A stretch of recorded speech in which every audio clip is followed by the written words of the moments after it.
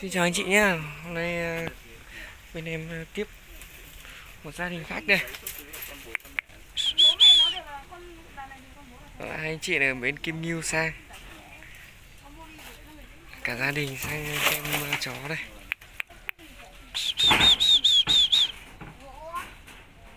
Cái đàn này bên em ờ, làm video cách đây một hai hôm rồi. giá thì mình bán thế nào chị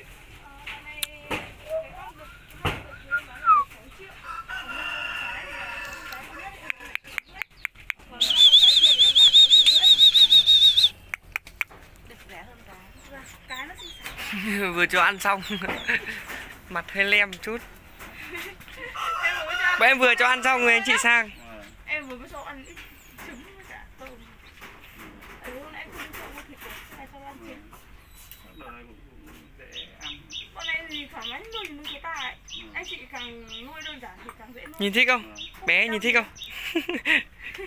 Gì nó ăn mà tại vì chó con thì mình hạn chế Đồ cho này là tai nó chưa lên đúng không? vâng. Nó đang kiểu gì cũng lên. Đấy đang lên đấy. Đây con này con này đang lên đấy. Tầm một tuần nữa là lên hết rồi nắng này tầm một tuần nó sẽ lên Vâng, nắng này mà em phải phơi nắng cho lên tay đấy. Vâng, phải lên lên tai. Bảo hành thần trùng lên tai anh ạ. Vâng, đây là đang lên mất vượng rồi này. Đấy vào đây có ba con nó bắt đầu lên rồi đấy. Ôi vừa ăn xong bụng căng tròn ra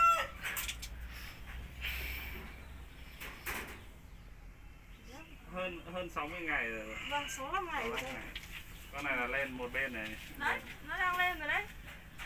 Nó cắn không thầy? không cắn nào được. Từ từ. Chân to nhỉ? Hiền lắm. Đàn này chân tay to. Không cắn đâu mà sợ.